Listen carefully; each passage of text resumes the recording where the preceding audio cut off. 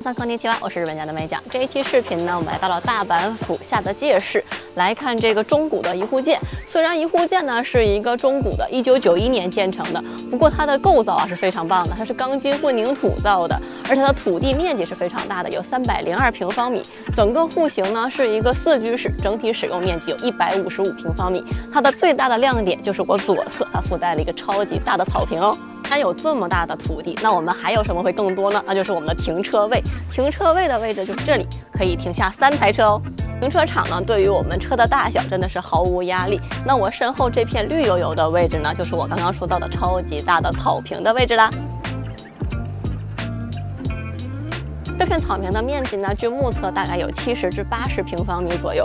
有这样一片草坪啊，我们夏天可以在这里烤肉啊，或是给孩子搭上一个小滑梯，作为一个游乐的场所，真的是非常非常的不错。虽然我们房子呢是建于一九九一年的，不过我们的室内啊做了一个非常大的翻修。那现在呢，我们一起进来看一下里边是怎样的天地吧。玄关一进来就感觉到是非常的敞亮，右手边就是我们的客厅的位置。那整体格局到底是什么样的？我们来一步一步看起来吧。关进来，右手边就是我们一个超级大的客厅。客厅的整体面积呢有二十五铁。那这边呢是我们的客厅位置，身后呢是餐厅的位置。采光呢是非常不错的，所有方向都有明亮的采光窗。那刚刚说过呢，整个房间是具有非常明亮的采光的。不过我们的主采光面呢是面朝草坪这边，而且是朝一个正南向的。有采光窗呢，它还有另一个优点，就是整个房间的通风还是很不错的。看我们的窗帘在飞舞，就知道它的通风是有多么的棒啦。这边是我们的厨房的位置，厨房这个距离真的是非常的宽，比我的臂展还要宽哦。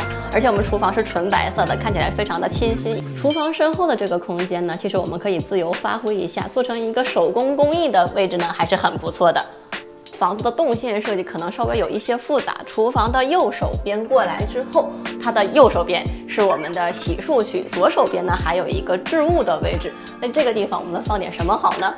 洗漱区域的设计呢，已经打破了我们传统看见的一户建的设计。那这个设计我还是很喜欢的，虽然置物的功能呢稍微少了些，不过还是很现代的。一体式的浴室呢当然是标配了，还有我们通风换气的小窗子。再向身后的位置呢，左手边是我们通往二楼的楼梯。不过我发现身后呢，有竟然有一间卧室在。哦，对了，右手边是卫生间的位置。一楼的第一间卧室呢，是一个传统和风卧室，面积非常的大，竟然有八铁大。那这个房间呢，我们来客人啊，来亲朋好友都是可以完全居住的，或者日常带小房在这里玩耍呢，也是完全 OK 的。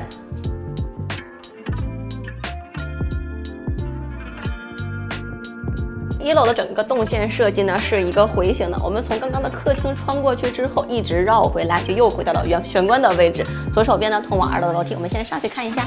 从楼梯上来，右手边映入眼帘的是一个，嗯，我觉得可以作为一个休息休闲的区域。这个区域呢，我们平常啊约上三五好友打打麻将、喝喝下午茶、聊聊天是非常的不错。而且后面呢还有一个超级大的露台哦。这个小区域呢竟然还配有了一个洗手台，我觉得对于日常生活啊都是非常方便的。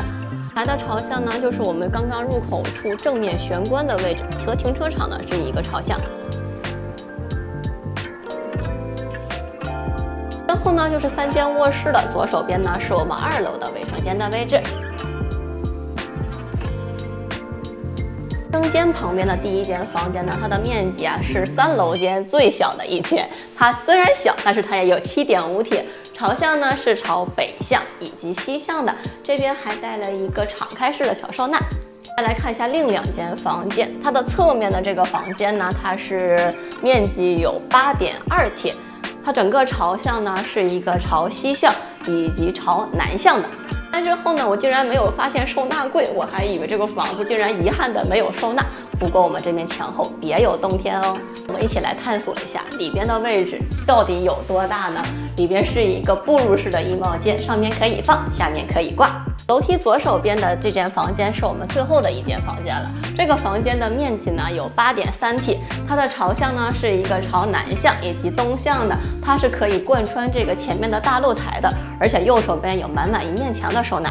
房间是可以作为主卧而使用的。我发现它这个房子是非常棒的，每一个房间都有两扇采光窗，而且采光都是非常非常非常的棒。这个大房子看完之后呢，我们来说一下房子的售价。目前的售价呢是四千四百八十万日元。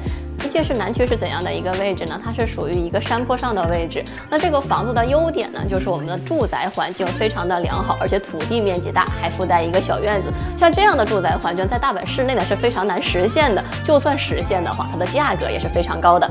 这个房子的缺点呢，我认为只有一个，就是它的交通设施以及生活啊，虽然可能没有那么的方便。住在这个位置呢，我们出门呢就要靠车来实行了。买房这件事情上，我们都是要有取舍的。如果你想要一个大院子，而且住宅面积又大的话，那这个房子呢不失为一个更好的选择。如果你喜欢这个房子呢，记得来来联系我们哦。那我们这期视频到这里结束了，我们下期再见，拜拜。